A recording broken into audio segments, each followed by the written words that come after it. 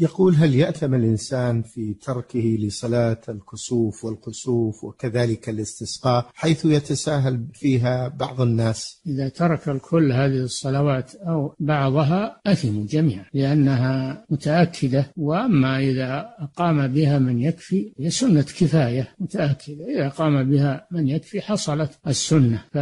وينبغي للمسلم أن يحضرها ليحصل على الأجر. حتى ولو قام بها غيره يحضر هو يشارك في الأجر والدعاء. نعم.